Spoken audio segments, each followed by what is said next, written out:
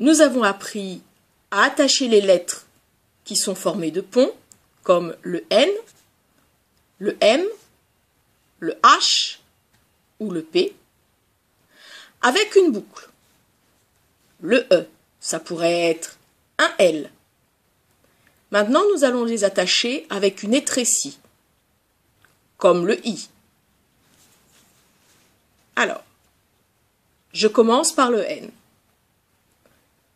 Un pont, deux ponts, je tourne parce que c'est comme ça que je vais l'attacher et directement je continue mon geste pour former les du I. Tu vois, je ne me suis pas arrêtée. J'ai remonté pour aller dans le sens de la boucle. J'ai formé mon étrécie du i. Et en dernier, j'ai mis mon point. Nous avons écrit la syllabe ni. Tu peux l'écrire jusqu'au bout de ta ligne. M. 1, 2, 3 ponts et je tourne et je ne m'arrête pas, je forme l'étrécie du i. Mi. Tu écris mi jusqu'au bout de ta ligne. P.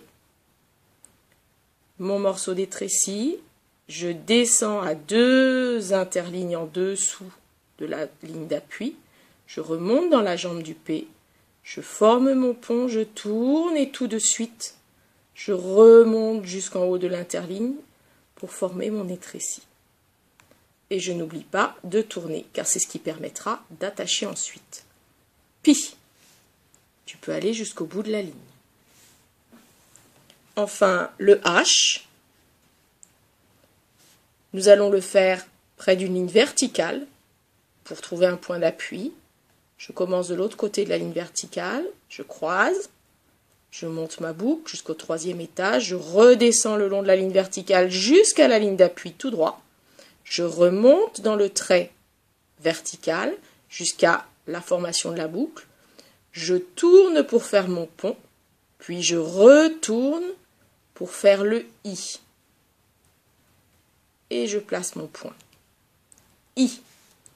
Tu peux continuer jusqu'à bout de la ligne en t'appuyant sur les lignes verticales.